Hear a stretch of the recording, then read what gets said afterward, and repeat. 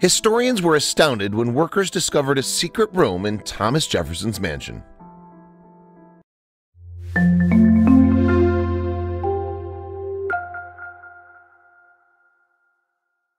The rumors about U.S. President Thomas Jefferson's affair with one of his slaves, Sally Hemings, started while he was in office in 1802. It was a disgruntled journalist, once an ally of Jefferson's but later an embittered enemy, who set the ball rolling with articles in the Richmond Recorder. The journalist, James T. Callender, wrote, It's well known that the man whom it delighteth the people to honor keeps and for many years past has kept as his concubine one of his own slaves. Her name is Sally. The article went on to mention Jefferson by name in case any of his readers were in any doubt who the man was. Thomas Jefferson was 58 years old when these allegations were published in September 1802 and after a long political career had been president since March 1801. It was a position he was to hold for two four-year terms. This exceptionally eminent American was one of the founding fathers of America and had been the lead author of the 1776 Declaration of Independence. Decades before these allegations surfaced, Jefferson had married 23-year-old Martha Wayles in 1772. She was his third cousin and a widow, and by all accounts the marriage was a loving one. Martha bore six children, although only two reached adulthood, including her firstborn, also Martha, who's pictured here.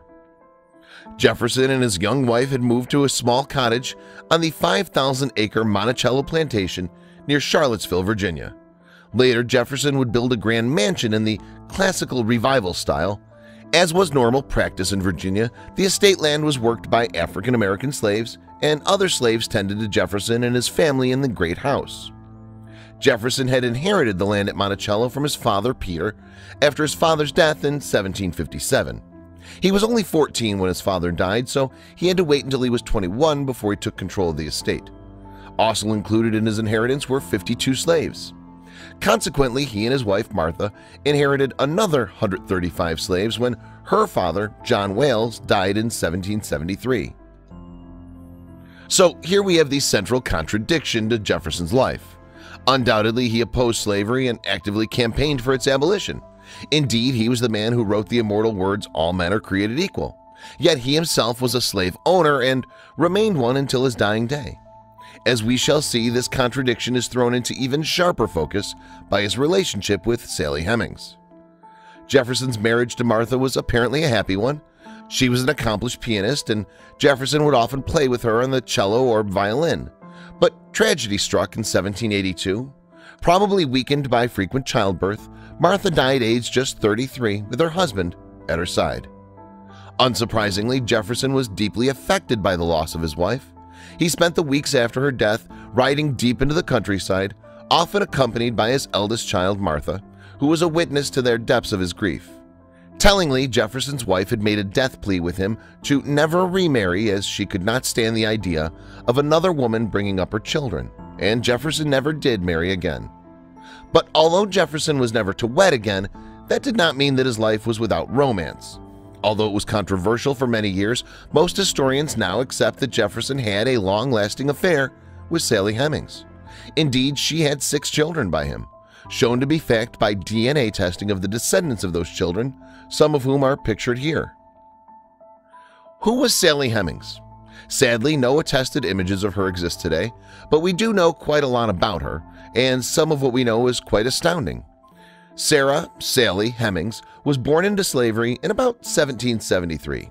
Sally's mother was Betty, and Betty's parents were Susanna, who'd arrived in America from Africa as a slave, and a British ship's captain called John Hemings.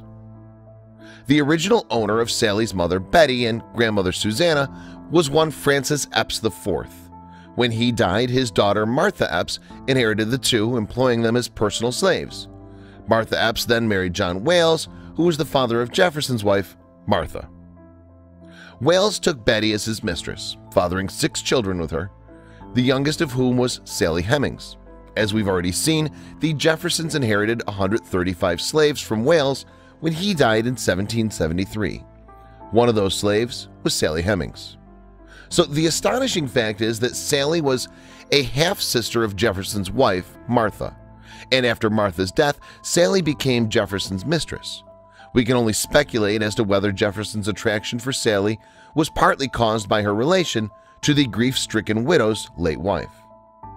When Sally came into the ownership of Jefferson in 1773, she was but a babe in her arms. Her childhood was spent on the Monticello plantation, although neither she nor any of her siblings worked in the field. They were instead given position as craftsmen of various kinds or as house servants. It was the latter occupation that Sally was to be given. We cannot know precisely when Jefferson's relationship with Hemings started, but there's perhaps a clue in the time that he spent in France as an envoy from 1784. While there, Jefferson decided that one of his daughters, nine-year-old Maria, should join him in Paris, but she would need a companion for the journey, and Sally was chosen for the role at the age of 15 or 16. Consequently, Sally spent more than two years in Paris. If she'd chosen to, she could have left the Jefferson entourage to be a free woman, as slavery had already been abolished in revolutionary France. But she returned to Monticello and a life of slavery. Sally's son Madison later claimed that she had in fact become pregnant by Jefferson in Paris. So by 1789, Sally was back at the Monticello plantation. It's been said that Jefferson enticed her with the promise that any children she had would be freed from slavery when they reached the age of 21. In fact, it seems that her first child died in infancy, but she was to have six more by Jefferson. Sally lived out the rest of her life in Monticello, working as a maid and seamstress.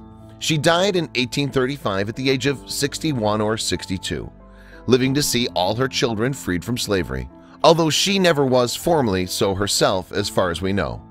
Until 2017, it was believed that no trace of Sally remained at Monticello. But then came an extraordinary discovery in 2017, the Monticello room where Sally had lived.